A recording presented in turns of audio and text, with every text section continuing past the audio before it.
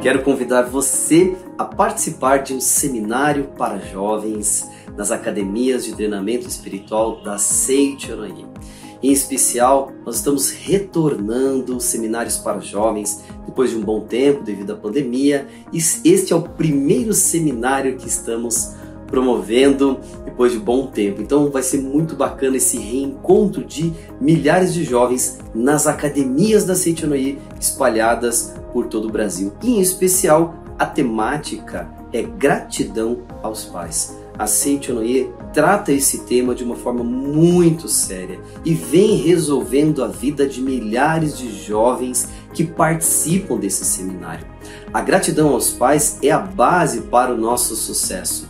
E nesse processo de reconciliação, de gratidão, muitas vezes nós precisamos de ajuda.